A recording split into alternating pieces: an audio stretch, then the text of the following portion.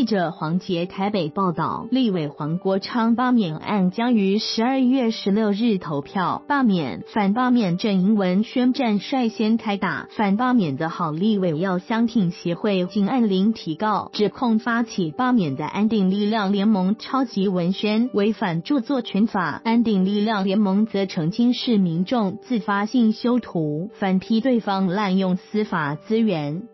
后立委要相挺协会的委任律师陈红旗今至士林地检署按铃提告，并对媒体拿出双方文宣比较图，表示两张图的基本构图、颜色、使用的文字字形、字体还有版面、整体布局等源，完全都是一致的。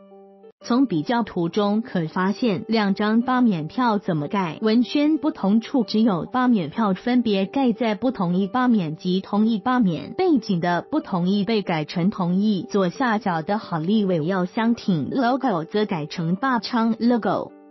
安定力量联盟则向媒体澄清，文宣并不是联盟制作的。选举罢免期间，任何文宣相关负责人都必须在上面署名以示负责。而这份疑似抄袭的文宣并没有署名，可能是民众自发性修图，与他们无关。呼吁对方不要混淆视听。